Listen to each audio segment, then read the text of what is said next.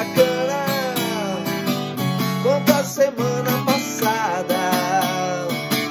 Você nem arrumou a cama, parece que fugiu de casa, mas ficou tudo fora do lugar.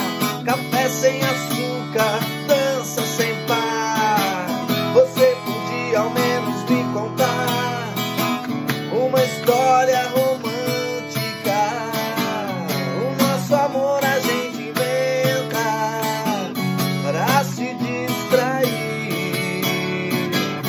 E quando acaba a gente pensa